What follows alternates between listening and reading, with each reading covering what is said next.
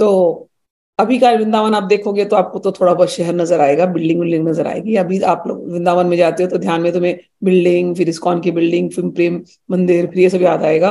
लेकिन पहले का वृंदावन, बहुत पहले का वृंदावन 500 साल पहले का वृंदावन 400 साल पहले का वृंदावन। इनफैक्ट मॉडर्नाइजेशन होने के पहले वृंदावन, अभी भी पुराना वृंदावन गाँव जैसा ही है। और वहाँ के मंदिर राजाओं ने कुछ मेन मेन मंदिर बनाए थे पुराने पुराने मंदिर।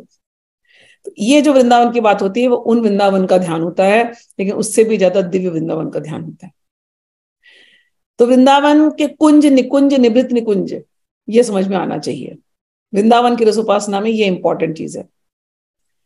अब जब भगवान श्री कृष्ण थे तो सोच लेना कि नंदगांव पहाड़ के ऊपर था, बरसाना नीचे था, गोवर्धन वही रास्ते में है तो वृंदावन गाँव के जैसा है पहाड़ पहाड़ हैं, गैया हैं।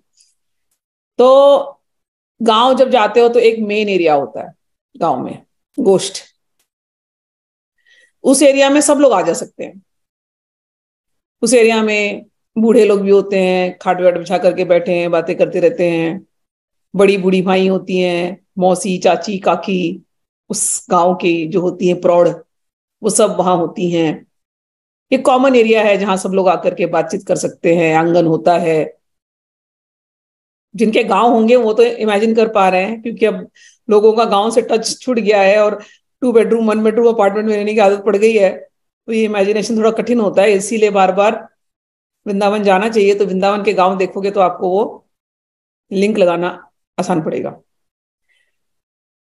तो गाँव है तो उस गाँव के जो मेन एरिया है, जहाँ सबको आना जाना अलाउड है। उसको कहते हैं गोष्ठ एरिया वहाँ पर जो इस गाँव में, क्योंकि सभी गोप और गोपी होते हैं, गोप वेश में होते हैं। गोप और गोपी का अर्थ होता है ग्वाले।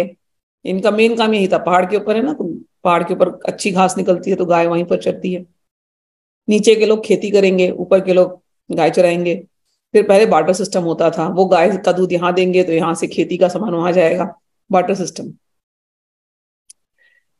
तो वो जो जगह है वहाँ उसको सबको हम लोग गोप, गोपी सब रहते हैं। तो इसीलिए जैसे यशोदा मैया है, वो भी गोपी है। इसको भी गोपी भाव ही कहते हैं, समझ लेना।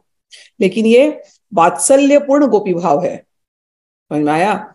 जो सखियों का जो गोपी भाव है, वो माधुर्यपूर्ण गोपी भाव है।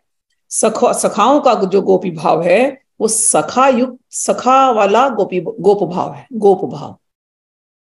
गोप यानी गोप, एक तो गाँव गाँव वाले, दूसरा ग्वाले, एकदम सीधे, साधे, सरल। उनको भगवान है, भगवान की बड़ी बड़ी बातें, ये सब उनके सब पे समझ में नहीं आने वाली उनको। उनको संस्कृति, भाषा, गीता का ज्ञान, उनको कुछ पल्ले नहीं पड़ने वाला। राजाओं की बातें, उनको कुछ पल्ले नहीं पड़ने वाला।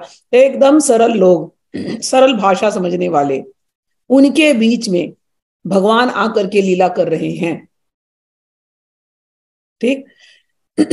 तो उसमें बहुत सारे कुंज हैं अलग अलग तो किसी भी कुंज में, आज भी वृंदावन में जाओगे जंगल वंगल दिखाई देते हैं, ऐसे कुंज दिखाई देते हैं बहुत सारे। तो ये सारे कुंजों में अलाउड है इनको जाना आना। तो भगवान छोटे से बच्चे हैं तो भगवान गोष्ठ में, कुंज में घूमते हैं कभी कभी गोपियाँ, बड़ी गोपियाँ भी वहाँ पर जाती हैं अपने काम करने के लिए, पानी भरने के लिए जा रही हैं, जो भी फूल बिनने के लिए जा रही हैं यमुना पे स्नान करने के लिए जा रही हैं। तब भगवान कभी वहाँ से चल रहे हैं, छोटे बच्चे जैसे। तो सबको भगवान देखते हैं, प्यार से सबकी नज़रें भगवान के ऊपर, इतनी प्यारी मधुर मधुर लीलाएँ भगवान करते हैं, मुस्कुराते हैं, बच्चों से तोतली बातें करते हैं। तो वो गोपियाँ, वो एक गोपी भाव है वात्सल्यपूर्ण गोपी भाव।